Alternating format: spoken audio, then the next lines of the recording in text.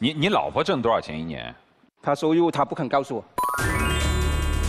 你们多少年的夫妻啊？看一下，呃，二零零一年的话就零零一年结婚的是吧？零一年结婚啊，不是不是一一年一一年。一一年结婚，也就也就是也就是七年嘛。对对对。你结婚七年了，他挣多少钱你都不知道？也许他不够信任我。啊，也许他不够信任。你越这么说下去，越为你的前途感觉到迷茫。这个问题我要回去想一想。你真的要好好想一想，你真的要好好想。谢谢谢谢。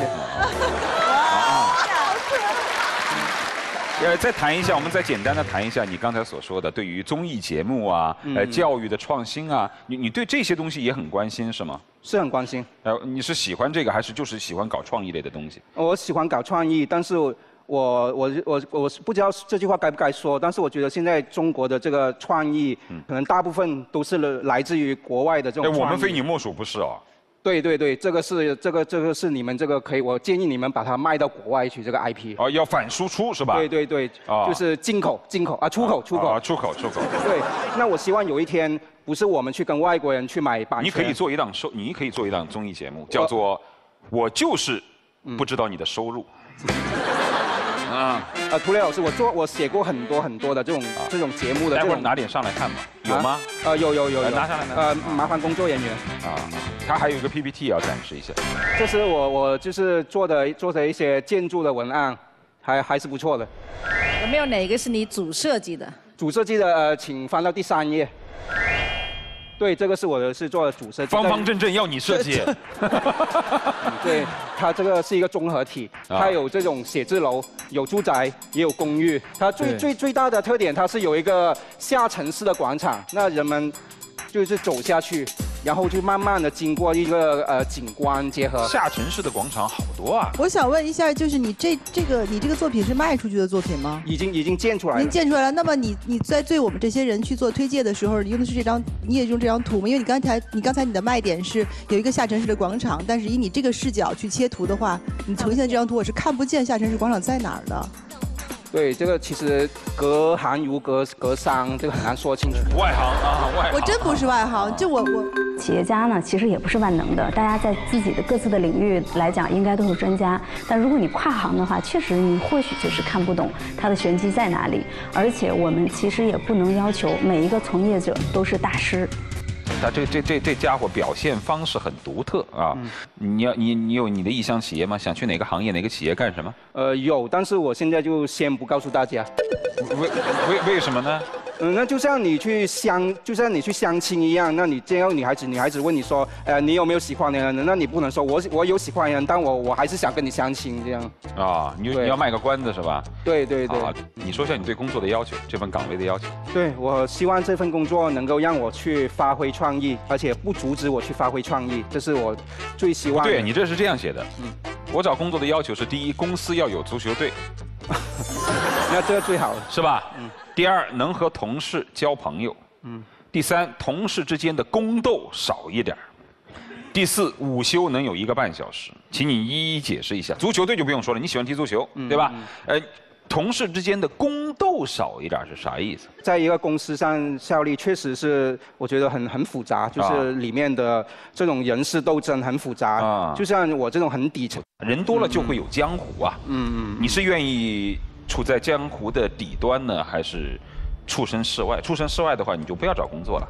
那还是希望能够简简单一点，然后能可就不要刀光剑影。对对对对，是吧？对，本身我也是个很简单的人。中午要休息一个半小时是为什么？我可能会可能花花点时间看看足球的新闻啊，这样，然后想一想我一些。业余的一些创意，比如说我今天我要准备拍一个什么视频啊，这样，你就是要有一个半小时的自由的想象空间，对对对对，要打个盹儿，对对对，是吗？嗯，能接受加班吗？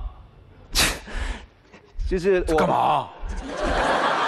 呃，涂磊老师，你可能不知道，我们以前我们就是我们做建筑这一行，啊，我们有时为了做一个方案，啊，就加班加到第二天的八点。可以啊，啊，挺好挺好。那那那是非要在深圳吗？还是可以去远方？本来我觉得北方也也挺好，但是就是来到这边，我脱皮又脱了一半，所以怪不得你瘦成这样啊！啊，对，所以所以我如果最好是南方，但是如果有好的企业，也不介意，也不一。但如果你去了远方的话，那你妻子不是更自由了吗？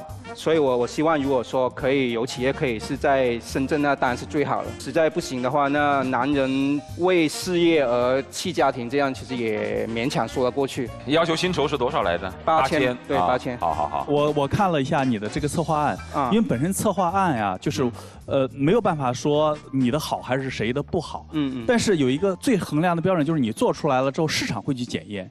那么你有没有去把你这些创业案拿出一些最简单的可以操作的，有没有去扔到市场上去检验过？那我今天不是来过来这里来，就是来找伯乐的，所以我就是希望来这里找伯乐。如果有伯乐的话，现在自媒体这么发达，你完全可以自己去试了嘛。对你你你拍你也拍过视频对吧？你不是嗯拍过说拍短视频、拍微电影？对那比方说你有上有没有传到优酷上去？还是上你抖音？你说你还没有用。嗯但视频网站很久很久就有了呀。我们已经遇到不少选手呢，把自己的爱好希望转变成职业。有一些企业家会怀疑我过来这边的诚意，但是我的工资降了两万二千块，这是我的诚意。我从深圳来到这里，两千两百公里，这也是我的诚意。我是真的是希望去找一份这样能发挥我的所长，能够满足我的爱好的这样一份工作。或者说你带视频来给我们看看也行啊，有吗？对，我是带了一个视频呢，大家可以看一下来来来。放一下视频，放一下，放一下，放一下。最近，土木校友会官方网站正式上线。为了解同学们对网站的看法，我们做了一个街访。然而，一位不愿意上进的同学却严厉批评校友会做这个网站是多此一举，画蛇添足。那边，搞笑的啊。另外，大家就院管网速过慢的问题提出了意见。昨天，网管就网速问题给我们发了回复的文档。然而，截止到本次节目播出为止，文档仍在传送之中。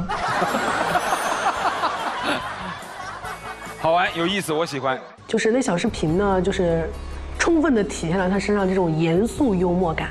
他其实很严肃、很正经，对吧？他包装一个那种新闻的样子，但其实里面是很不正经的表达。所以我觉得这个还是蛮有代表性的一个作品。嗯，你你愿意从事自媒体的工作吧？就或者视频类的工作啊，创意类的。短视频啊，对我我愿意。好，来第一轮选择去火流。